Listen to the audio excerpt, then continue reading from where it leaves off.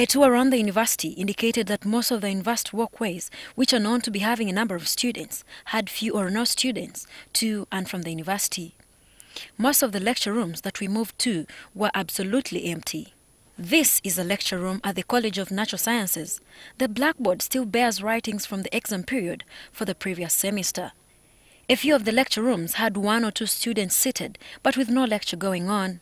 Most of the staff offices were locked with padlocks, while the corridors remained empty. Though the timetables on the various notice boards indicated that lectures were imminent or supposed to be going on, the rooms where the learning was supposed to be happening remained empty. The photocopying areas showed no signs of business. The police was also seen within the vicinity of the university in case trouble broke out. However, the Vice Chancellor, Professor Barnabas Nawangwe, used his Twitter handle to indicate that lectures were going on. Later, the acting Vice Chancellor, Associate Professor Eria Hisali, who was sitting in for Nawangwe, indicated that the council was in talks with the Makere University Academic Staff Association executive to end the strike. Uh, this morning, we had an engagement with the executives of the Academic Staff Association.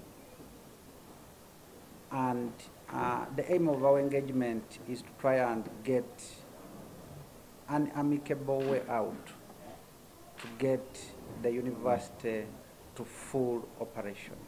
He noted that MUASA issues would be attended to by the committees responsible once they are set up.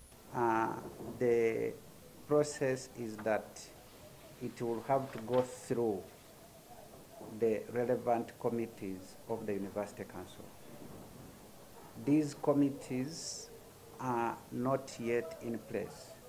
Dr. Edward Mavu affirmed that the strike would continue even as the association holds talks with the university management. Uh, there are various reasons for lectures not taking place.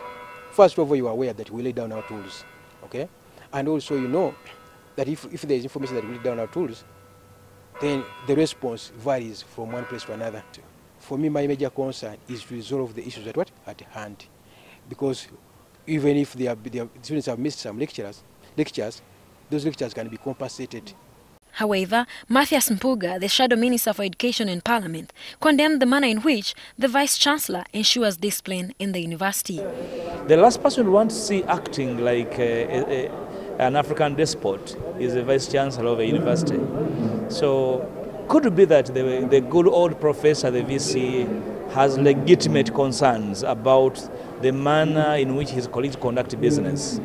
But his response too has issues that he must explain to the public because this is a public institution. You cannot resolve disagreements on how to run a public university by acting like an African despot.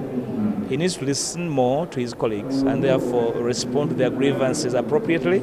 Despite the various engagements between the Makerere University management and the MUASA executive to normalize the university operations, most of the lecture rooms remained empty and some of the support staff offices remained closed. Olivia Komgisha, NTV.